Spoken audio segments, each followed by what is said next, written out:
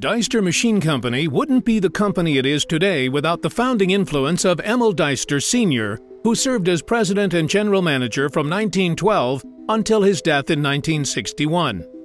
Deister migrated to the United States with his parents in 1878, settling on an Indiana farm and later rising through the ranks at Bass Foundry and Machine Company.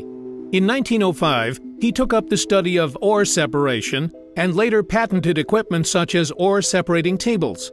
Upon completion, Deister won over mill owners and began taking orders as Deister Concentrator Company.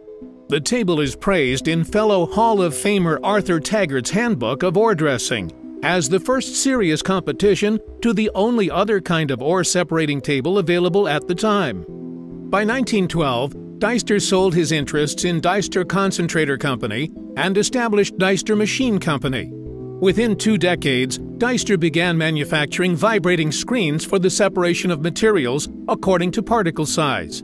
Seven years later, Deister introduced a special screen for sizing the aggregate used in hot mix asphalt plants. The company subsequently added vibrating feeders and foundry equipment. Today, Deister Machine Company focuses entirely on its core business, providing feeding, scalping, and screening equipment to the aggregate and mining industries.